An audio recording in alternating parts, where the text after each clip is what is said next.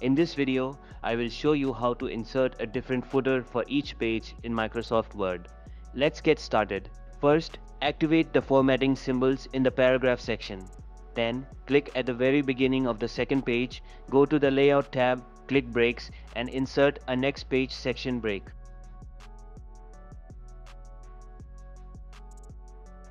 This creates a section break at the end of page 1, making page 1 the first section and all following pages part of a new section.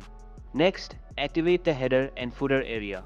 Click into the footer of section 2, go to the Design tab under Header and Footer Tools and deactivate the link to previous button.